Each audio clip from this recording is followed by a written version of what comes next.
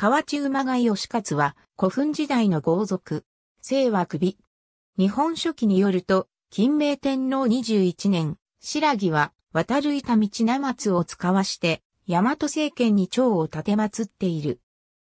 教を受け、賜物も常よりも多く、名松は喜んで退出し、調布の使いは国家としても重要に考えているので、市議とは比べ物にはなりません。効能には人民の命がかかっているのに、使いに選ばれると見下げられます。王政の兵は多く、これにかかります。願わくは、両家の出身の者を死者とし、非戦の育ちの者を当ててはなりませぬと言ったという。ところが、同22年、白木は、クレシツ及び罰防止を使わして、調布を献上したが、接待役の礼遇方法が誰よりも劣っていたので、及び罰防止は、恨んで帰国した。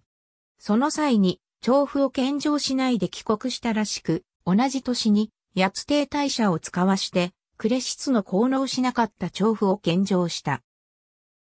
接待庁舎の南波の大軍に、諸国の死者を案内する際に、接待役のぬかたべの連、桂木忠らが、白木を百済の後に置いたため、大社は立腹して帰ってしまった。大社は各社に入らず、船に乗って、アナトに帰り着いた。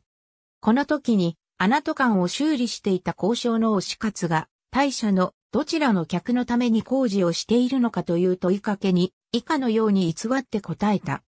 西の方の礼なきことを問いに検す死者の泊まり宿る、ところなり大社は帰国して、その通りに告げたため、白木は城をアラペルシャ山に築いて、大和政権に備えた、という、その翌年、白木は、ミマナの三宅を打ち滅ぼした。ありがとうございます。